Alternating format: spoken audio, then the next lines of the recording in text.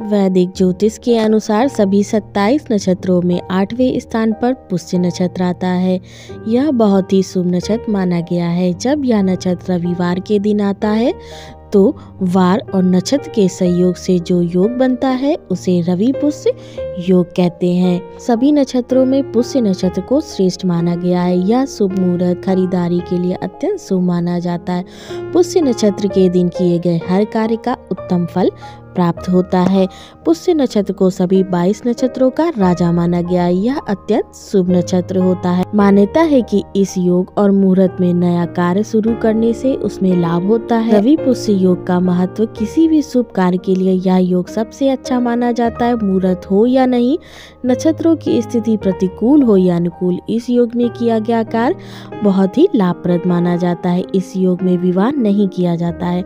शास्त्रों में, शास्त्रों के अनुसार इस नक्षत्र में धन की देवी माँ लक्ष्मी का जन्म हुआ था। इस योग में भी विवाह करना वर्जित होता है।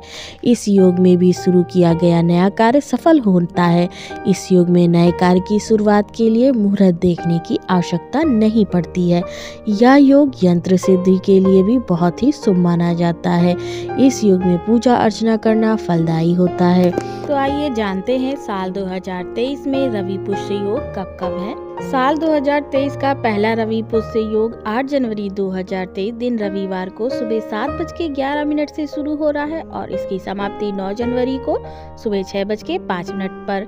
अगला रवि पुष्य योग 5 फरवरी 2023 दिन रविवार को सुबह सात बज के चार मिनट से दोपहर बारह बज के तेरह मिनट पर। अगला रवि पुष्य योग 10 सितंबर 2023 दिन रविवार को शाम को पाँच बज के छह मिनट से 11 सितंबर को सुबह छह बज के दो मिनट पर अगला रवि पुष्य योग 8 अक्टूबर 2023 दिन रविवार को सुबह छह बज के पंद्रह मिनट से 9 अक्टूबर को सुबह दो बज के पैतालीस मिनट पर अगला रवि पुष्य योग 5 नवंबर 2023 दिन रविवार को सुबह छह बज के बत्तीस मिनट से सुबह दस बज के उनतीस मिनट तक। रवि पुष्य योग में क्या करें? रवि पुष्य योग के बारे में शास्त्रों में कहा गया है कि इस योग में तंत्र मंत्र की साधना करने से साधना सफल होती है। बीमार व्यक्तियों का उपचार इस योग में शुरू करने पर स्वास्थ्य में लाभ मिलता है। जन्म कुंडली में सूर्य की स्थिति अच्छी नहीं होने पर, सूर्य की पूजा इस योग में करने पर सूर्य का दोष दूर होता है। रवि पुष्य योग में मुख्य रूप से दवा इत्यादि का निर्माण करना शुभ होता है। इस समय पर बनाई गई औषधि का प्रभाव रोग को जल्द से जल्द